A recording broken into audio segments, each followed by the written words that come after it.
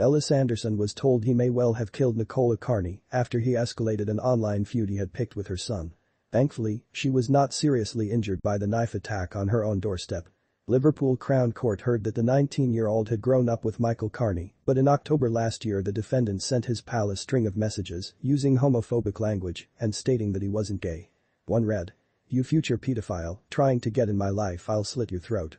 Mr. Carney blocked Sanderson and had no subsequent contact with him until the teenager attended the home on Andrew Street in Walton, where he lived with his mother at around 5.30 p.m. on December 8. He began banging on the front door, which was opened by Ms. Carney. Ken Grant, prosecuting, described how the teen began trying to force his way into the property and lunged at her with a knife in a stabbing motion 10 to 15 times. She was eventually able to close the door again with the assistance of her son. Ms. Carney was treated at the scene by paramedics, with a blade having caused a slight cut to her neck, which did not require hospital treatment. Sanderson was arrested at his flat on Upper Parliament Street the following day.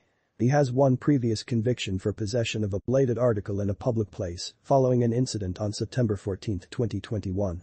This came after police were called to the Kensington area following reports of three men fighting in the street with machetes.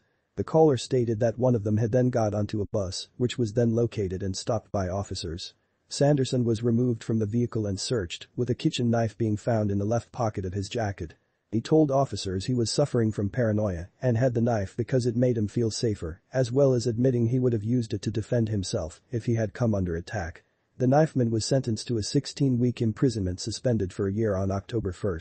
The court heard on Wednesday that Sanderson has schizophrenia and suffers from delusions and hallucinations, including believing he can communicate telepathically. He had not been taking his medication at the time of the altercations, with his defense counsel Lloyd Morgan adding. He does suffer from a mental disorder that does require treatment in order to prevent him from being a danger to the public. Sanderson who appeared via video link to Clockview Hospital admitted assault occasioning actual bodily harm, possession of a bladed article in a public place, and breaching a suspended sentence order and was given an indefinite hospital order. Sentencing, recorder Andrew McLaughlin said. You could have caused her irreparable harm. You may well have killed her, given the nature of your attack on her. Fortunately, that did not occur. I am satisfied that you are suffering from a mental disorder, namely schizophrenia.